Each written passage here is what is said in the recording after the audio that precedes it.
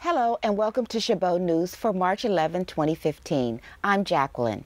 In today's news, we'll have the latest Hayward hit and runs. Diana will bring us the 90s celebrity turned spiritual guru and Zoolander 2. And Gabriella has the latest on Tiger Woods' new venture and the LA Stadium project. All that and more on Chabot News. But first, the University of Oklahoma's president expelled two students Tuesday after he said they were identified as leaders of a racist chant captured on video during a fraternity event. The video posted online, several people on a bus participated in a chant that included racial slur, referenced lynching, and indicated black students would never be admitted to OU's chapter of Sigma Alpha Epsilon. The university president acted swiftly after the video surfaced late Sunday, severing ties with the fraternity and ordering its house shuttered Monday and announcing the expulsion Tuesday. The university is working to identify other students involved in the chant who may also face discipline. Hayward, Police say a 15 year old girl was grabbed by a man as she walked home from school Friday afternoon. Police say the girl was walking on Whitman Street when she spotted a man standing next to a white four door sedan. As she passed, police say the man assaulted her. The suspect is described as a white male, adult, 20s, tan complexion with a scruffy short beard. The teenager said he was five foot six, six, inches tall with square prescription glasses and hazel eyes. He was wearing a gray shirt, black knee length shorts, orange athletic socks, and sandals.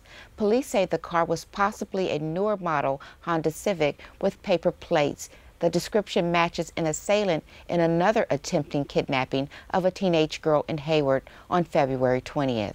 An Oakland artist an Oakland artist who crafted jewelry was killed in a hit and run crash while she was walking to her studio on Saturday, according to a loved one. The accident happened at approximately 2:20 p.m. on the 800 block at Pine Street in West Oakland. Police say the driver of the car abandoned the vehicle and fled the scene of the collision. Witnesses said it appears the driver of the car jumped the curb and drove on the sidewalk for about a half a block before crashing into a metal fence. Howe was, a was also hit and pronounced dead at the scene. Pol Oakland police do not have a description of the suspect on the car involved in the collision. Anyone with information is asked to call Oakland police. Pedestrian struck by a hit and run driver in Hayward Wednesday night has died of his injuries, police said a vehicle struck the 50 year old Hayward resident while he was walking in a parking garage of a large industrial complex at Winton Avenue. On his way to work, police said another driver came across the man lying on the pavement. He was taken to the hospital but died Thursday. Police are looking for a vehicle that sustained front, bumper, and hood damage and possible damage to the windshield and side windows. Anyone with information about the collision has been asked to contact Hayward Police.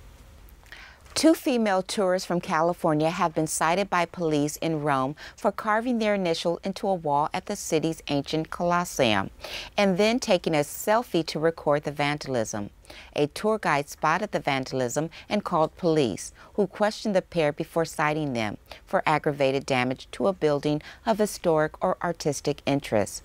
The women were not identified in the reports, and it was not immediately clear whether they would have to pay a fine.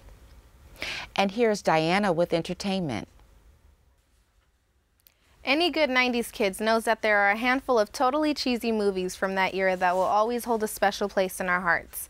Camp Nowhere and 10 Things I Hate About You are two said flicks, and they both have one thing in common, Andrew Keegan.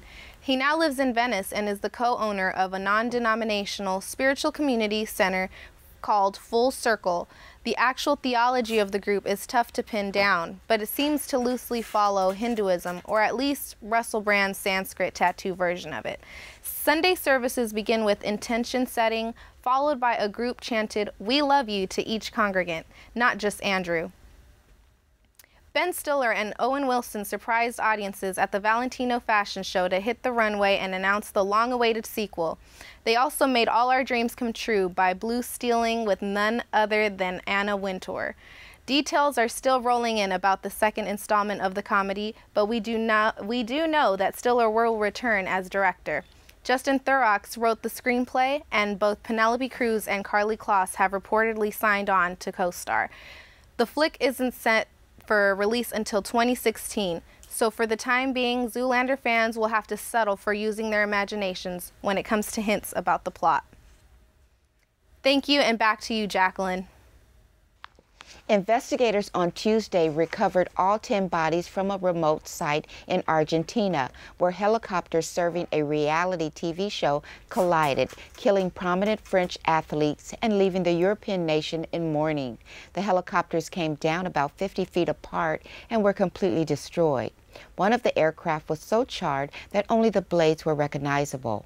Among the dead were Olympic champion swimmer Camille Muffat, Olympic boxer and bronze medalist Alexis Vastine, and pioneer sailor Florence Arthaud.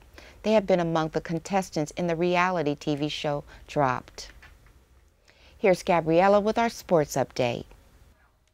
Professional golfer Tiger Woods will open his first restaurant in Florida later this spring. News about Woods Jupiter Sports and Dining Club first broke last year. Golf magazine spilled more details in its later latest issue the name, while clunky, was chosen for a very specific reason. Developer Nicholas Mastroeni II reveals that Woods was not allowed to use his first name with his last name in the restaurant name because Nike has the rights to the name Tiger Woods. Apparently, anytime Mastroeni wants to use Woods' name in a press release or marketing material, he needs permission from Woods' business people.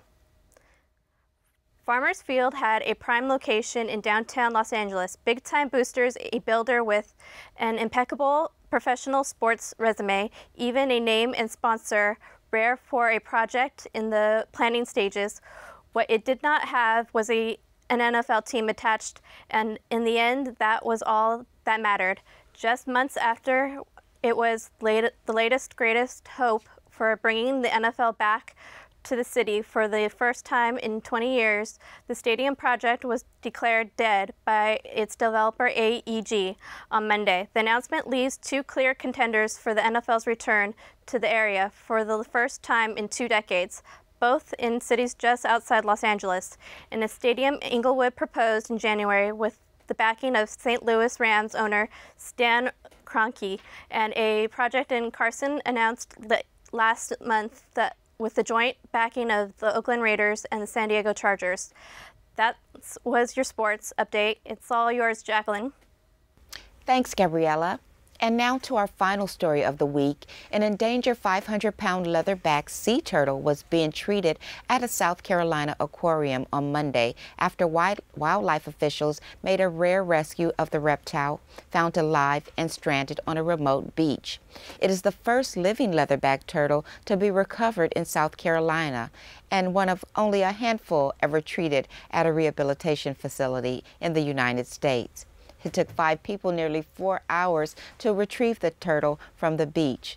Wildlife officials think the turtle they found is a young female that may have eaten debris, shell, or a plastic bag mistaken for a jellyfish. Leatherbacks do poorly in captivity, so they, the rescue turtle will be released after receiving treatment for a few days. That's it for Chabot News this week. Thanks to all the students and staff in the Mass Communications Department here at Chabot College for making this production possible. You can watch us anytime online at ChabotTV.com. Stay tuned to KCTH 27 on Comcast for more Chabot News.